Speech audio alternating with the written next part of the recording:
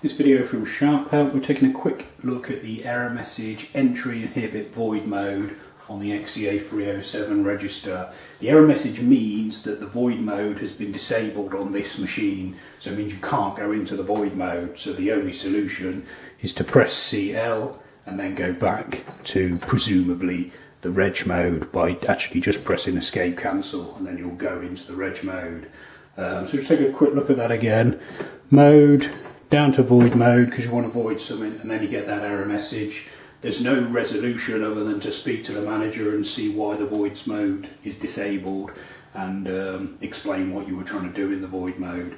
So clear gets rid of it and escape cancel takes you back to reg.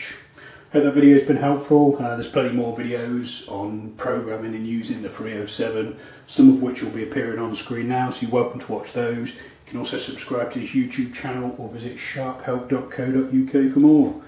Thanks for watching.